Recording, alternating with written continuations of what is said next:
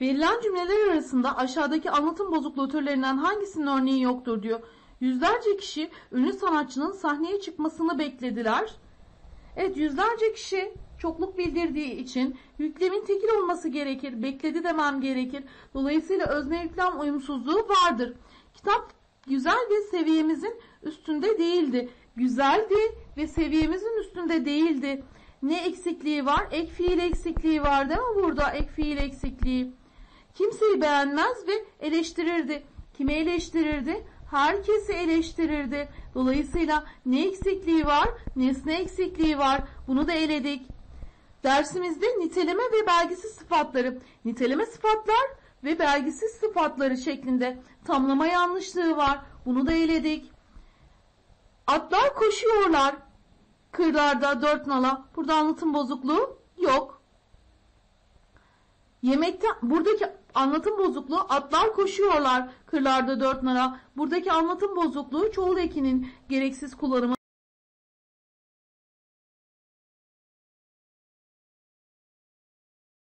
Aşağıdaki cümlelerin hangisinde anlatım bozukluğunun sebebi farklıdır? Herkes yaralıya bakıyor, ambulans çağırmayı aklına getirmiyordu. Kim getirmiyordu? Kimse. Ne eksikliği var? Özne eksikliği var. Hiçbiri işi zamanında bitirmemiş, ihmal edip savsaklamıştı. Kim savsaklamıştı? Hepsi yine aynı şekilde özne eksikliği var. Öğrencilerin hepsi yazılı kağıdına isim yazmış, öğretmene teslim etmişti. Neyi teslim etmişti? Yazılı kağıdını. Nesne eksikliği var. Bakın bu A ve B'den farklı oldu. Ona hiç kimse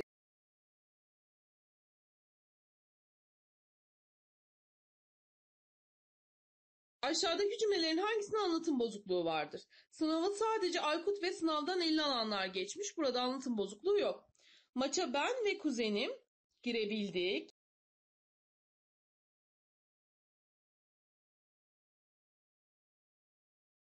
İnternet bağımlısı olup bir süre önce kurtulmuş bir kişi olarak en başta şunu ifade etmek isterim.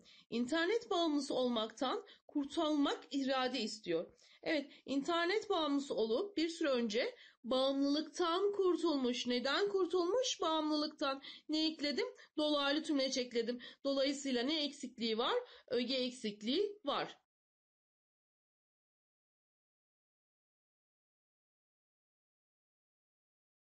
Çocuklara bir şeyler öğreten, yeri geldiğinde duygulandıran bir film çekmek istiyoruz. Kimi duygulandıran? Onu duygulandıran ya da çocukları duygulandıran ne ekledik? Nesne ekledik. Dolayısıyla nesne eksikliğinden kaynaklı bir anlatım bozukluğu karşıma geldi. Cevabım D. Ataç, tiyatronun en sevdiği sanat dallarından birisi olduğunu birçok yazısında dile getirir. Özellikle çocukluk yıllarında tiyatroya gitmekten çok hoşlandığını ve tiyatroda izlediği oyunları unutamadığını belirtir. Gençlik yıllarında da tiyatroya ilgisi devam eden Ataç, eğitimi için İsviçre'de bulunduğu yıllarda tiyatrocu sanatçısı olmayı istemiş. Ancak burada bir dönem tiyatro. Şimdi ancak dediğimde tersini söylemem gerekiyor ama ben ne yapıyorum? Söylediğimi pekiştiriyorum. Dolayısıyla ne demem lazım? Hatta demem lazım. Cevabım Adana.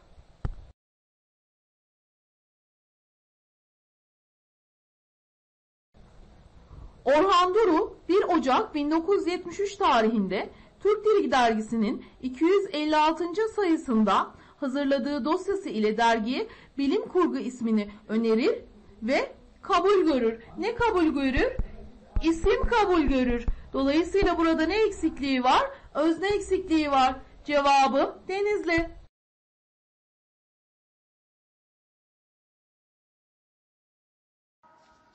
Aşağıdaki cümlelerin hangisinin anlatım bozukluğu yoktur? Her kitap için çok okunur olmak en önemli beklenti olduğu da bir gerçektir. Çok okunur olmanın demesi lazım. Burada var.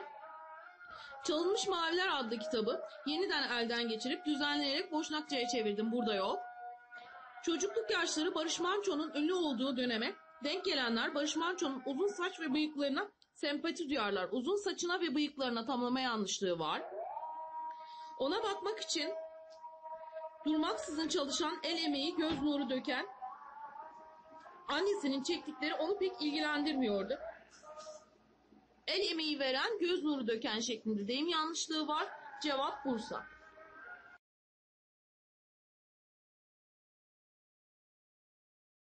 Salona giren ve çıkan çok sayıda yan kollar olduğu yapılan araştırma dalışlarında belirlendi. Şimdi burada bir kere çıkan, salondan çıkan diye dolaylı tümleç getirmem lazım. İkincisi de çok sayıda sözünü olduğu sözünden sonra getirirsem düzeltmiş olurum anlatım bozukluğunu. 1 ve 4 diyoruz yani Adana. Aşağıdaki cümlelerin hangisinde nesne eksikliğinden kaynaklanan bir anlatım bozukluğu yoktur? Kardeşine sahip çıkar, kimselere ezdirmezdi kimi, ona ezdirmezdi, nesne eksikliği var. Çocukken ne yersen büyüdüğünde yanına kar kalır. Burada nesne eksikliği yok. Zaman elden uçar gider. Onun için zamanı iyi değerlendirmem gerekiyor. Yine nesne ekledik. Nesne eksikliği var. Son derece güzel hazırlanmış bir konuşma yaptı. Yine de millet beğenmedi. Neyi beğenmedi? Onu beğenmedi. Yine nesne eksikliği var. Cevabımız B'dir. Numaralanmış cümlelerin hangilerinde özne yüklem uyumsuzluğundan kaynaklanan bir anlatım bozukluğu vardır? Sonbahar aylarında soğukların bastırmasıyla birlikte köylere dönüş için hazırlıklar başlar. Böylesi duygular ancak ayrılık anlarında yaşanırlar. Şimdi duygular insan dışı bir varlık olduğu için yüklemin tekil olması lazım. Burada özne yüklem uyumsuzluğu var. Yetkililer düzenledikleri festivale tanınmış sanatçıları da davet etmişler. Halk otobüs seferlerinin seyrek olmasından yakınıyorlardı. Halk tekil olduğu için yüklemimin de tekil olması gerekir. Çokluk ekini atıyorum. 2 ve 4 Ceyhan diyoruz.